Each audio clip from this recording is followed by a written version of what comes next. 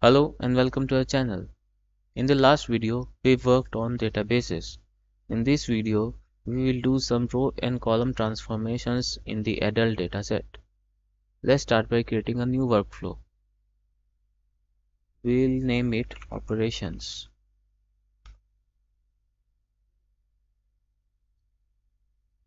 We will drag the adult.csv file in the workspace. We'll press OK we will run it and check the data. Let's take a look at the dataset let's say in the occupation column we can see some question marks which are black in color. They are supposed to be missing values. If I show you the original dataset in Excel they have question marks instead of empty cells. Now if there would have been empty cells like for example in this excel sheet which is saved as a csv file if we import this into the KNIME and run it we will see that the empty data is represented as red question mark. So to handle this situation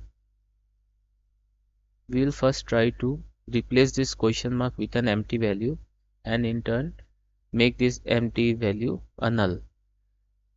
For that we can use the string manipulation multi-column since there are multiple columns with missing values. Now the current column variable takes each column in every iteration since there are integer values also, we'll first start by converting this into a string. You can select this. Now we will replace the question marks with empty cells.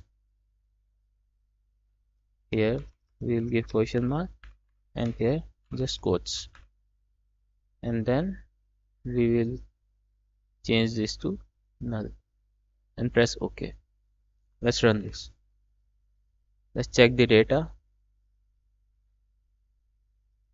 If we scroll this side, we will now see the empty values are given as red question marks, which is correct. But now we have some unnecessary columns like the previous columns the new columns have been given a prefix underscore transformed.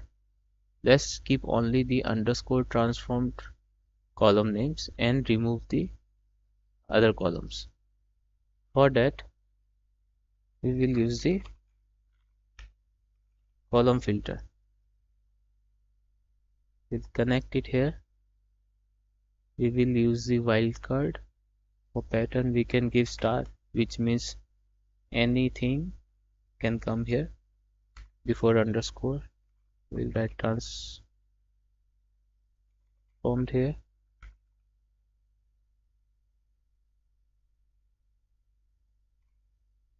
And we'll press ok. We'll run this and we can check the data again. Now there are only columns that has underscore transformed in it now let's remove the underscore transform from the column names. For that we can use column rename regex. We'll drag this, we'll connect it here. We'll double click. For the search string we will use underscore transformed. We'll check the literal and replacement will be nothing and we will run it. Now if we check column names are correct. But now the integer columns are also changed to string. We will solve that using the column auto typecast node. We'll connect it here. And there's nothing to configure.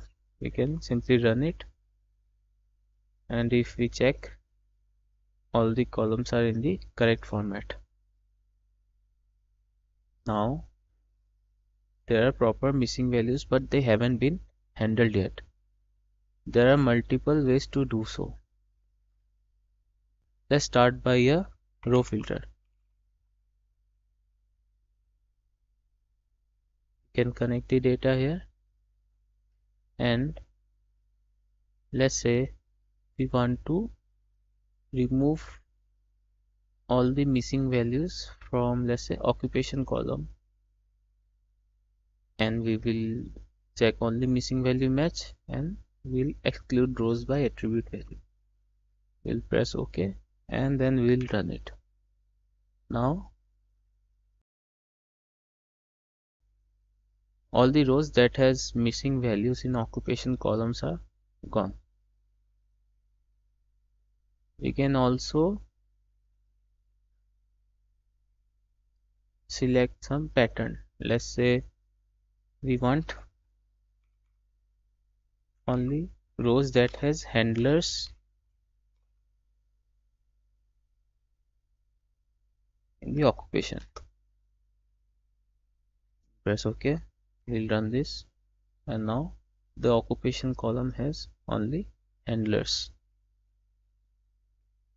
now another way is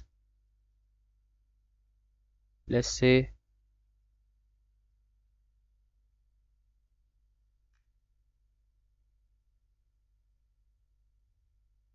we want to filter data based on some integer column.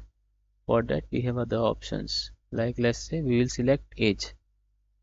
And we can use a range. Let's say we want people only from age 20 to 25 we'll press ok and run this.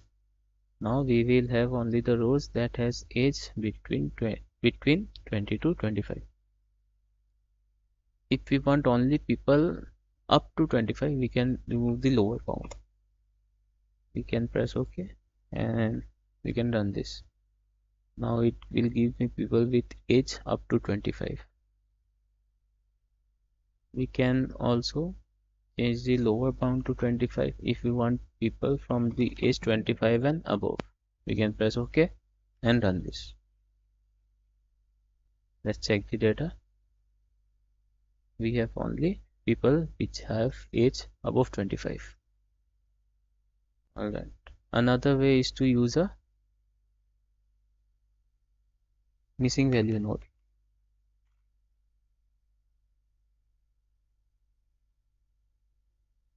if we double click it we can handle it by using let's say for numbers we can say median. And for the string we will say most frequent value. We'll press ok and we'll run it. Now if we check the output all the question marks are gone from all the columns. We'll move forward with this data. Now let's say we want to change this United States to USA for that we can use the rule engine node. We'll put it here. We'll connect this. And what we can do is let's say if native country is equal to United States we'll change it to USA or by default we will keep it same as native country. And we'll replace the column native country here. We'll press ok and we'll run this. Now if you check the data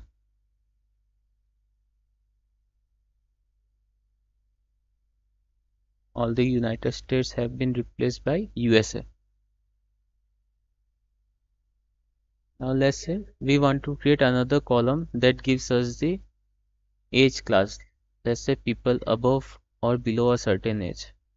For that let's again use the rule engine. We'll double click it and we'll say if age is greater than or equal to 18 we will say it is over. Or else we will say